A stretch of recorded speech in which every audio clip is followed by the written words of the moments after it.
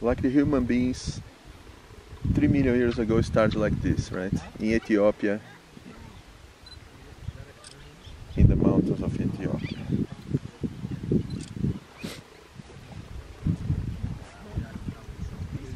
Excuse me.